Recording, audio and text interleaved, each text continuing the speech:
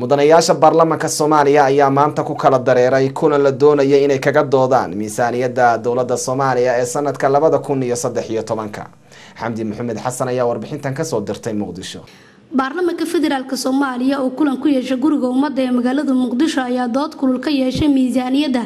Ay dowladda dalka ku maamuleyso sanada laba kun saddex iyo tobanka waxaana kulanka dooda goobjoog ka ahaa wasiirka maaliyadda iyo qorsheynta ee xukuumadda federaalk soomaaliya xildhibaanada baarlamaanka ayaa inta badan doodooda xooga ku saaraya mushaaraadka ciidamada qalabka sida ee dowladda iyo xafiisyada saddexda mas'uul ee ugu sareysa dalka iyo sidoo kale lacagaha loo qoondeeyey.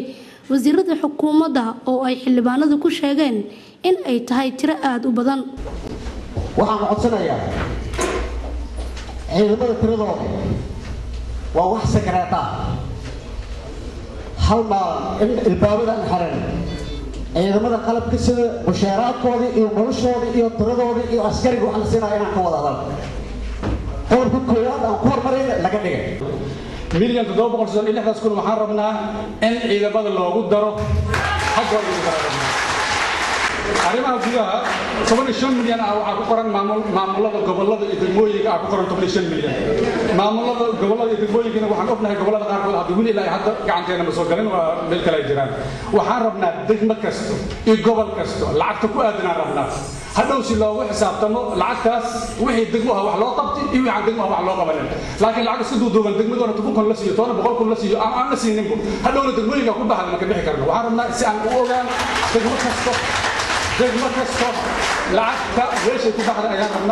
waxaan leeyahay xildhibaanada igu horreeyaa inta ka hadlay kharashyadaas oo dhan waa la dhima oo xafiisyada madaxda lagu dhoome madaxda ceeb iyo sharaf dhac waay. In inta ay ku soo qoraan xafiis hebel afar milyan xafiis hebel shan milyan qarankiina difaaciisa meeshaas la gaarsiiyo xisaabe xil malaha liiray haddaan la xumeeyo wasiirka maaliyadda iyo qorsheynta ee soomaaliya oo ka jawaabayay su'aalaha ay weydiinayeen mudanayaasha baarlamaanka ayaa sheegay in lacagaha ku baxa ciidamada iyo xafiisyada dowladda ay yihiin kuwa lagu qiimeeyey duruufaha dhaqaale ee ka jira dalka. Arrimaha milatariga oo xildhibaanadoo dhan soo qaadeen.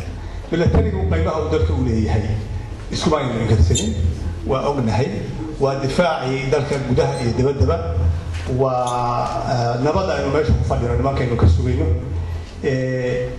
waxa weeye awoodda hadda jirta. Su'aashu waxa weeye awoodda hadda jirta.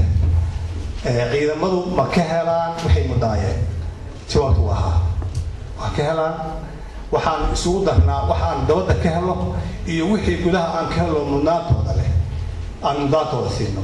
Haddii maalan waxaa lagu yimaada dagaal baa ciidamada meel ku qabsaday waxyaabaha wasaaradda ku yimaada ka mid tahay dagaal baa ciidamada ku qabsaday ama dagaal bay meel u aadayaan oo khatari ka soo socotaa hadday nagu khasabto mushaarada waa joojinaa iyagaanu bixinaa.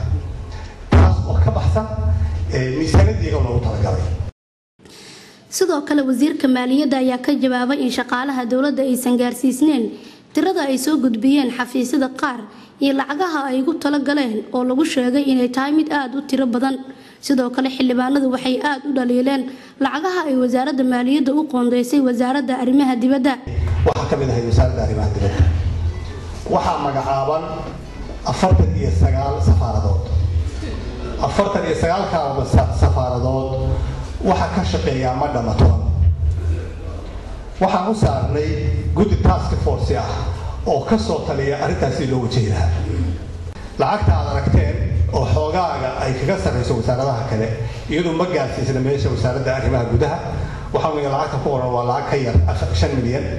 Waxay ku sababaysan tahay in si aynu adduunka ula shaqayno waa in shaqeeyaan.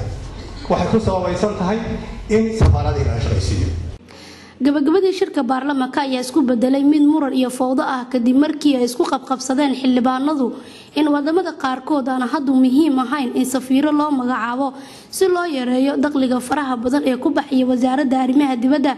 Waxaana muranka xildhibaanada darteed uu shirku u soo xiray gudoomiye ku-xigeenka koowaad ee baarlamaanka oo shir gudoominayay shirkii maanta. Xamdi maxamed xasan somaali janal muqdisho